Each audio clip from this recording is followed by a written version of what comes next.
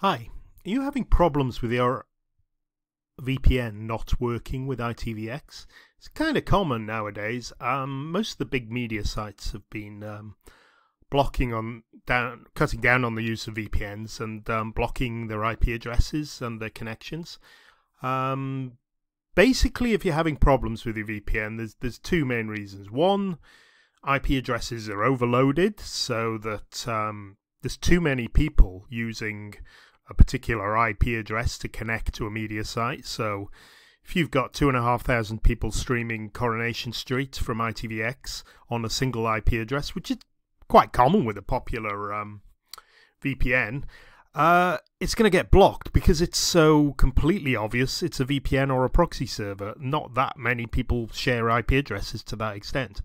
Uh, you'll get a message like this on screen, error code 0101, similar to the code, um, it's quite a generic error, that one, similar to the code if you get if you connect with an IP address from another uh, country.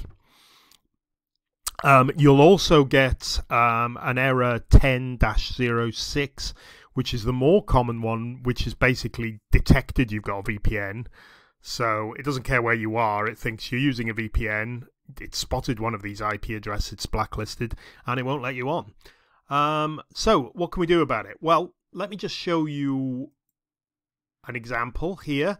Um, I'm using NordVPN, which actually works really, really well with um, uh, ITVX and BBC iPlayer. But it's got hundreds of IP addresses in the UK, but they don't all work with um, ITVX, as you can see, I'm getting the error message from one generic UK server there. I'm just going to disconnect here now. Uh, and that's because that IP address is basically being spotted. Uh, now, NordVPN um, has made some servers optimized for using these streaming sites.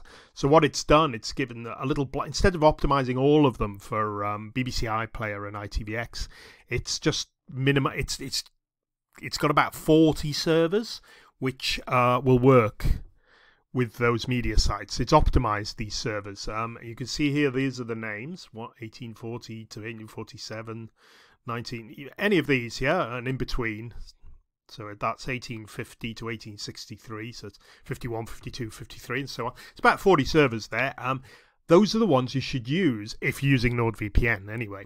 Um, I the other streaming sites may have optimized. I don't think they do, but um, some try and optimize all of their servers, which usually ends up not working. So, so let's just uh, minimize this, and we'll go and reconnect to the IP server using one of those um, IP address. Okay, so let's just, um, oh, I just need to close. Uh, let's just go to NordVPN again. And what we'll do is we'll go to one of those servers. 1840 was one of them. Um, all you do is you just type in the number there. So 1845 was one, I think, and you'll you'll see the servers there. Just type in the number. You don't need to put in the location, but you'll see it's a United Kingdom server. So we're connected there. So I'm connected to one of these. Um, BBC iPlayer optimized servers. Now, I know I say BBC iPlayer, this is ITVX, but they do the same things. They've optimized it for UK streaming sites, really, and uh, and what they do is keep the number of connections down. Doesn't always work, but uh, 90% of the time this works for um, ITVX and BBC iPlayer if you use with NordVPN. Um, very, very occasionally I'll have one blocked, but um, if I use one of the optimized servers, hardly ever. Okay, so let's just show you. I was blocked with the other um, one, uh, but these are one of the optimized servers. So hopefully, let's just go and I'm on ITVX now. Let's click on Red Eye. What's this? Um, series 1, Episode 1. Parental controls are off.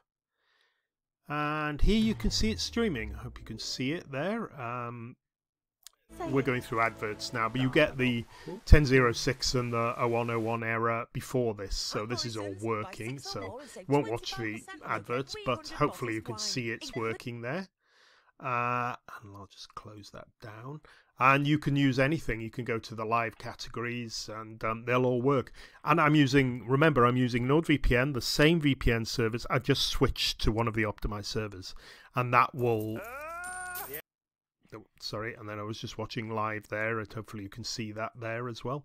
Um, you'll get adverts in on any of these, but um, if you upgrade to premium, oh, you can get rid of the adverts. But this is live TV. This is ITV1, some quiz show to tipping point, and that's all there is to it. So remember, cookies. Delete your cookies. Always delete your cookies. It's not always cookies, but it, it's worth deleting them.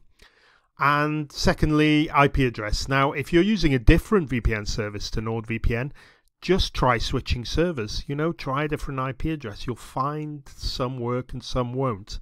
Why I like NordVPN is they make an effort to just tell you which ones do work. Okay, they don't make any um, secret that sometimes they get blocked, but they try and optimize a specific number of servers. I think they're about it's about twenty percent of their um, UK IP addresses. Okay, right, I'm going to close that now, and hopefully that will help you for explain if you're having trouble with your VPN service not working with ITVX. Okay, thank you very much for watching, and have a great rest of your day. Bye bye.